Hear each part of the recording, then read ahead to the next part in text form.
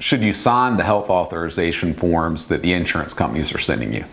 My name is Kenneth Berger, and I made this video to help answer that question. Now, I know that after a wreck, dealing with one or more insurance companies and all the different claim information can be challenging, uh, and that includes having to figure out which forms you should sign and, and, which forms you shouldn't sign. When it comes to any type of medical releases or HIPAAs, uh, you got a few options. One thing you can do is get in touch with the insurance adjuster and tell him or her that you're only going to sign a limited medical release for records uh, going back to the date of your accident.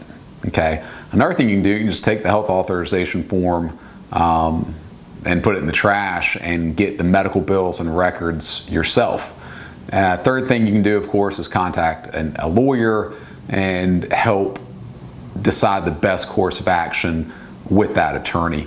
Now, in cases where there's little to no injury, signing one of the forms from the insurance company probably isn't a big deal. But if you've had a case that the injuries are serious, the injuries are life changing, the injuries are something that honestly you probably want to do a free consultation with a lawyer for, anyways, uh, signing those health authorization forms can, can have a big impact on your case because a lot of times those forms, I promise you, the insurance company isn't asking you to sign those forms to figure out how to pay you more money.